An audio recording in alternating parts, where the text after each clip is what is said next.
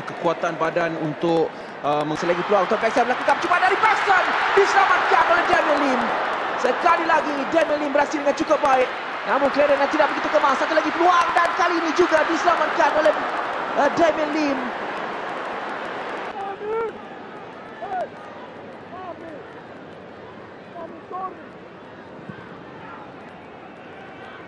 Untuk cari ruang percubaan dari Baxan.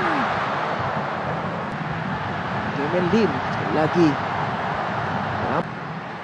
Ya, walaupun